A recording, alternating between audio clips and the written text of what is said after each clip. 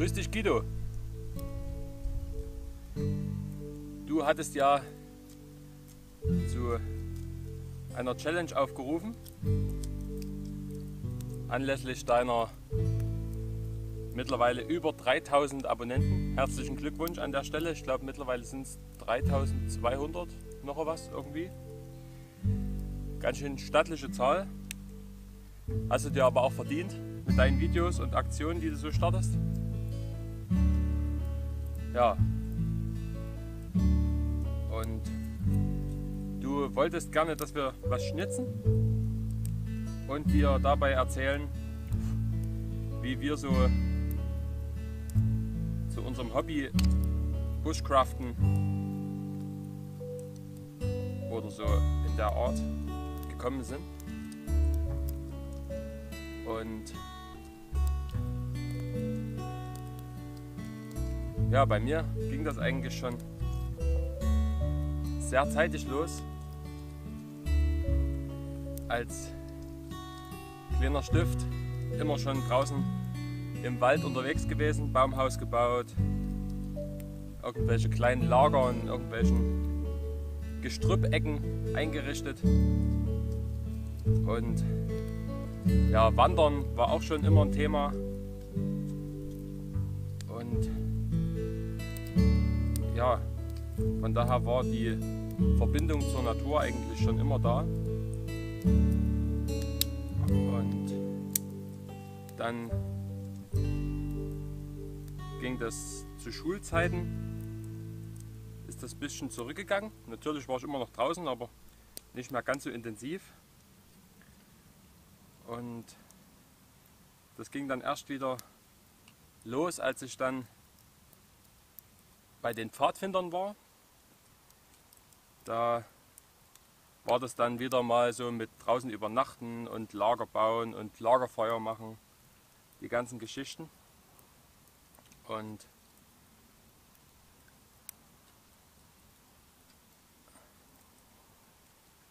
da habe ich dann erstmal wieder so den tieferen Bezug zur Natur gefunden, wo es dann eben auch mal so ein bisschen darum ging, wie kann man draußen leben, welche Sachen kann man sich draußen zunutze machen und was eben vorher noch nicht so ausgeprägt war. Und dann nach der Schule ging das Ganze wieder ein bisschen zurück. Da habe ich ja dann mit meiner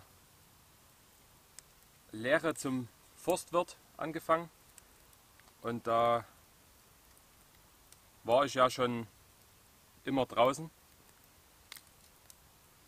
und da war ich natürlich auch so wandern und so immer noch unterwegs, aber dass ich da mal längere Zeit einfach so rausgegangen bin, um die Natur zu erleben, war eben nicht so der Fall, weil ich eben aufgrund der Ausbildung immer schon den ganzen Tag draußen war, bei Wind und Wetter. Und wenn man dann eben schon den ganzen Tag draußen gearbeitet hat, da zieht es einen dann etwas weniger noch raus. Ja, und gegen Ende der Ausbildung habe ich dann so ein paar YouTube-Kanäle entdeckt. Ganz vorne dran den Kanal vom Kai Sackmann. Und da hat es mich dann regelrecht infiziert. Und ja, seitdem war ich dann auch äh, einfach so mal draußen, ohne jetzt irgendwie eine feste, ein festes Ziel zu haben. Einfach mal so rausgehen, bisschen Querwald einlaufen, was ich ja beruflich bedingt schon gewohnt war. Und von daher war das eigentlich was ganz Normales für mich.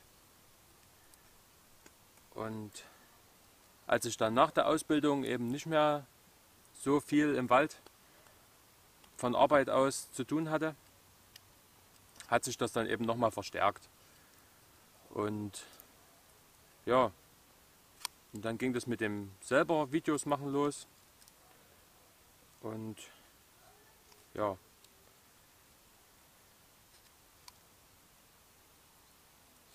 Man hat in der Zeit immer wieder neue Sachen dazugelernt, hat immer wieder Neues ausprobiert, immer wieder Gelegenheiten genutzt, rauszugehen, um irgendwas zu werkeln, auszuprobieren. Und ja, man ist, hat es eigentlich draußen, man ist immer irgendwo unterwegs und hat immer was zu tun, es wird nicht langweilig. Selbst wenn man wie jetzt nur da sitzt und sich eine Gabel schnitzt. und ja, ist wirklich für mich ein sehr schönes Hobby, ein schöner Ausgleich. Einfach hier draußen auch mal die Stille zu genießen.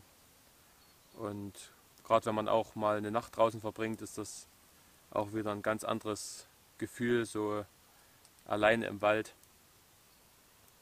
zu sein und die Geräusche wahrzunehmen und so, was man auch tagsüber, wenn man auf einer Wanderung ist oder so, gar nicht so hört. Das ist dann alles noch mal ein bisschen intensiver. Und auch so halt rauszugehen und mit wenig Ausrüstung zurechtzukommen, ist immer so ein bisschen eine Herausforderung. Was mir persönlich auch schwerfällt, teilweise dann einfach mal zu sagen, ich lasse den und den Gegenstand jetzt einfach mal zu Hause und probiere dann unterwegs zu improvisieren. Aber das ist das, was ich mir so noch als Ziel gesetzt habe, was jetzt noch vermehrt so sein soll, auch mal mit wenig Ausrüstung oder gar keiner draußen zurechtzukommen, um einfach seine eigenen Fähigkeiten ein bisschen besser zu schulen. Und ja, Guido, ich hoffe, deine Aus meine Ausführungen haben dir soweit gefallen. Und ich wünsche dir noch alles Gute mit deinem Kanal. Viele weitere Abonnenten. Mal sehen, wann ich die 3000 knack, wenn es überhaupt mal so kommt. Aber nach deiner Prophezeiung her muss das ja irgendwann mal passieren. Ich vertraue einfach mal darauf. Und ja, Guido, ich schaue fleißig deine Videos weiter und wünsche dir, wie gesagt, alles Gute mit deinem Kanal. Bleib wie du bist und hab Spaß draußen. Und dann sehen wir uns in einem der nächsten Videos. Macht's gut, das war meine Videoantwort für dich. Wir sehen uns auf YouTube. Mach's gut.